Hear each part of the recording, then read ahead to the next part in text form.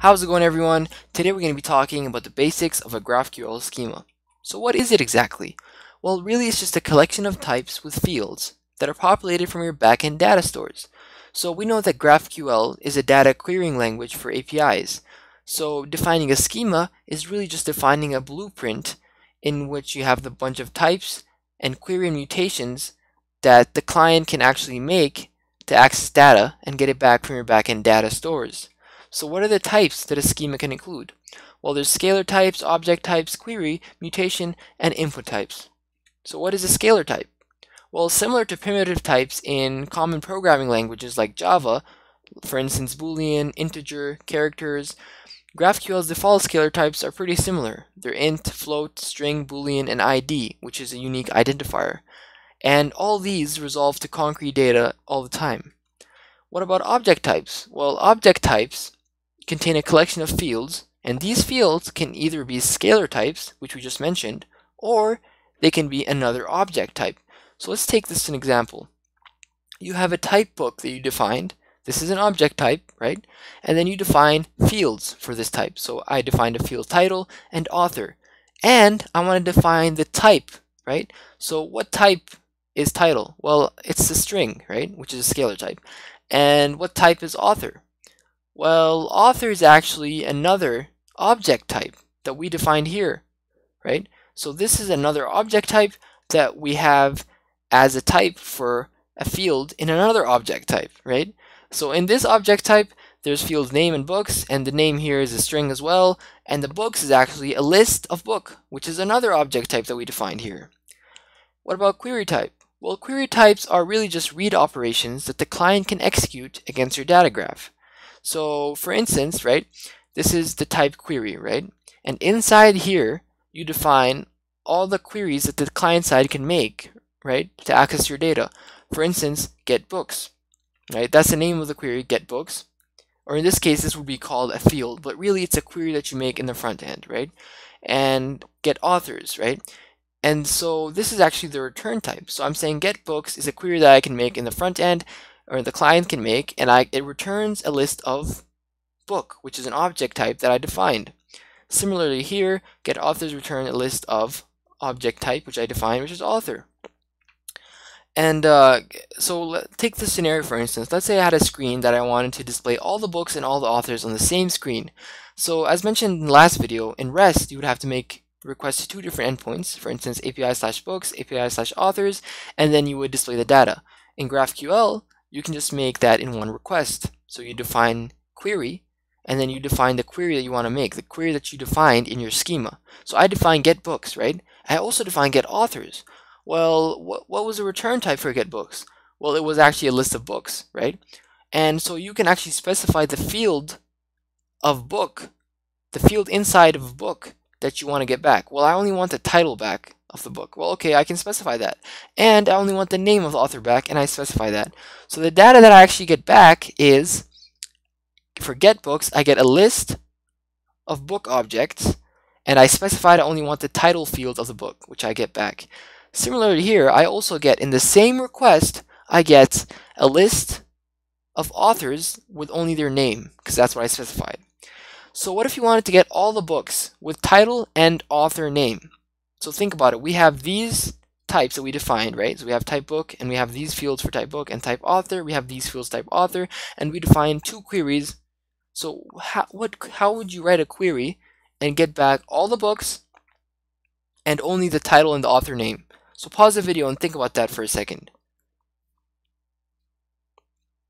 Alright, so this is the answer. You would write a query and call getBooks, which is a query that we defined in our schema, and you would specify the return type. So like I said, we only want the title of the book back, right? And we want the name of the author. Well, we know that getBooks actually returns a list of books. And we know that book, right, actually has fields title and author, right? And author actually has fields name and books. So I can specify that I actually want the title back, and I actually want the author back. But I don't want both of these fields from the author back. I only want name.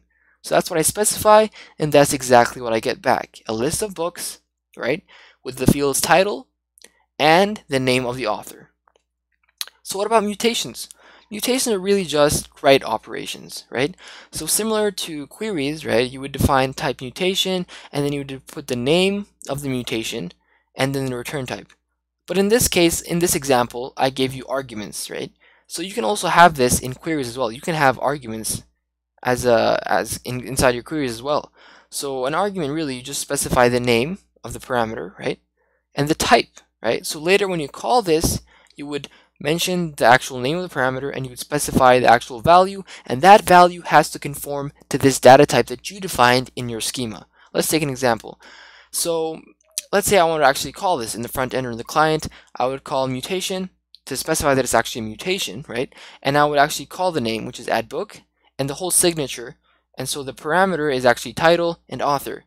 And I would pass in the value. So this is actually a string, and this is a string, right? And that's exactly what I defined, so there would be no issues. And I would specify the return type, right, which is title, and uh, an author, and only their name, though. So for mutations, you can specify whatever return type you want, right? It could be a boolean, it could be an ID. You can even use it just for caching or just checking that the status went through. Okay, so this is the response you would get, right? You would call add book and you would get what you specified, which is the title and the name of the author. And obviously by creating this request, you would have actually added the book, right? But remember, GraphQL does not actually concern itself with how you know how the implementation implementation done is done. It's actually just a querying language that allows you to easily relay the data between your client side and your your um, backend. So what about input types? Well, input type is really just a special object type that allows you to pass objects as arguments. So instead of passing in scalar types, so these are all scalar types, right? As arguments, I'm passing in a scalar type string, string, a list of string, right? Instead of making all of these parameters, I can just pass in one object that actually represents all these scalar types. So this really keeps operation signatures clean. So take an example. This is how we would use an input type for the previous example. I would define a type mutation and I would define the name, right? Create post. And instead of actually having three arguments here, I only have one argument. And what is that actually? What is this type? Oh, well, it's an input type that I just defined here, and the fields are actually exactly the same as what I had earlier. So the last thing I want to talk about is field nullability. nullability. so what exactly does that mean? Well, in previous examples we saw that the types, right, they would have fields and they would have um, scalar types or object types, right? You would define what type it is. But we never saw this exclamation mark. What exactly is that?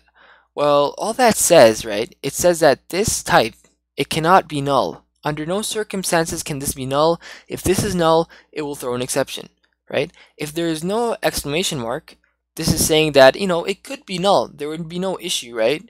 Right? So expected that it could be null, no exception would be thrown. So let's look at this example, right? This is saying that, okay, it's a list of episode object, which is probably an object type that we defined, and it's saying that, well, this whole list cannot be null. And it's saying that the elements in the list, or the objects, right, the episode objects, also cannot be null, right? So that's all this exclamation mark see means. So if you see it, just you now you understand what it means. All right, thanks for watching, guys, and make sure to stay tuned and like and subscribe.